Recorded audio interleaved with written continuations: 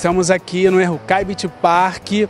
Pipeline, na bancada é logo ali, Costa Norte dela é de Oahu, Havaí, eu sou Antônio Ricardo, está começando agora mais um Projeto Aloha. O mar agora não está muito bom, mas nós chegamos aqui hoje às 7h15 da manhã, conforme a luz foi melhorando, as ondas foram melhorando também, vários surfistas profissionais treinando para a primeira etapa do Circuito Mundial de Surf, o Pipe Masters, galera do Free Surf e os locais na água.